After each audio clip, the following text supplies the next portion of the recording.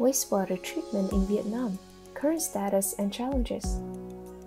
Welcome back to ICHAM Connected. Since 2016, international environmental organizations have warned that Vietnam is in the top 5 countries with the largest amount of water discharged into the sea in the world, after China, Indonesia, Thailand, and the Philippines. The major sources of pollution result from untreated domestic and industrial wastewater and illegal discharge of solid waste into water bodies. This pollution reduces oxygen levels and makes it difficult for plants and animals to survive, leading to a growing need for wastewater treatment development. Let's find out more about this issue and how it affects Vietnam in this video. Over the past few years, wastewater treatment mechanisms in industrial parks have improved, with 91% of parks now having a centralized system according to a 2022 Ministry of Natural Resources and Environment report. However, industrial parks often lack standard or inefficient wastewater treatment system, causing degraded works and waste.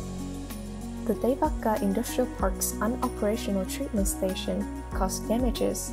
Companies often treat wastewater arbitrarily or discharge it directly, causing harm to ecosystem and human health.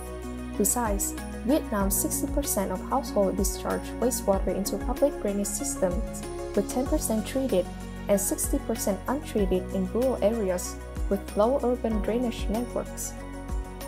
So, what have been the challenges with wastewater treatment in Vietnam? Firstly, industrial parks prioritize waste treatment system, but low investment capital and limited financial capacity hinder infrastructure constructions in some localities the second is business lack awareness of environmental protection obligations, with investors and owners not fully understanding and updating current laws for industrial park infrastructures. Moreover, ecological management capacity at state and enterprise levels is inadequate, with weak implementation at local and grassroots level. With domestic wastewater treatment, the greatest challenge is lack of infrastructure and domestic wastewater treatment system, causing untreated urban wastewater to discharge into the environment, posing environmental threats and challenges for cities.